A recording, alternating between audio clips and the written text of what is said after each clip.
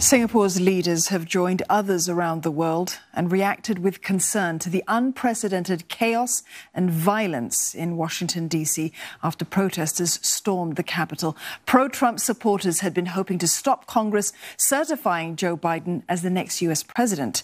Four people died in clashes with police. Only then did Donald Trump promise an orderly transition. But his supporters had already laid siege on the Capitol a state of emergency has been extended for 15 days.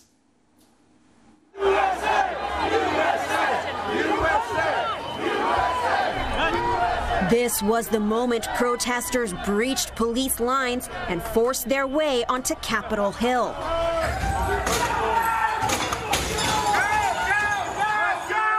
They broke windows, rampaged through offices, and stormed onto the floor of the Senate and the House of Representatives.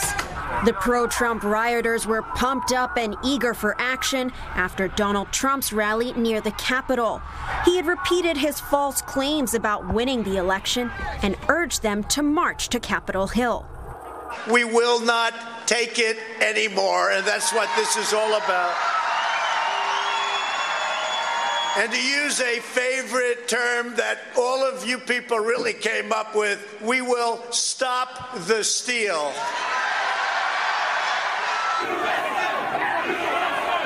Rioters grappled with police. Their aim was to disrupt the confirmation of President Donald Trump's defeat. At the time, Congress was meeting to certify Joe Biden's victory in the presidential election. Lawmakers in the building were told to hide in their offices or were taken to secured rooms.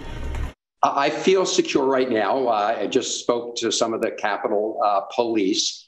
Uh, I'm actually over in one of the Senate office buildings. In the shocking scenes of chaos and mayhem, officers could be seen drawing their guns. As violence escalated, one woman was shot and later died.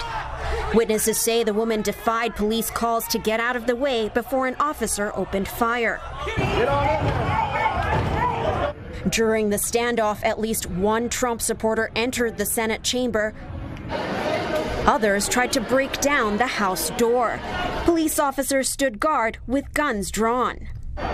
Officers locked down the building and fired tear gas to try to bring the situation under control. Uh, we were just told that there has been tear gas in the rotunda, and we're being instructed uh, to each of us get gas masks that are under our seats. Police struggled for more than three hours after the invasion to clear out the protesters. The White House then deployed the National Guard. And President Trump finally urged his supporters to go home, but still insisted the election was stolen. This was a fraudulent election, but we can't play into the hands of these people. We have to have peace. So go home. We love you. You're very special. Police have arrested more than 50 people in what's considered the most damaging attack on the heart of American democracy since the 1800s. Singapore has expressed concern at the deadly turn of events in Washington, D.C. Senior Minister Teo Chee Hean is hoping for a return to peace, calling it a sad day. Mr. Teo, who's also coordinating Minister for National Security, has described the scenes as shocking. Speaker of Parliament Tan Chuan Jin also called the events that transpired unbelievable. Mr. Tan hopes the situation will stabilize and that the rule of law will be respected.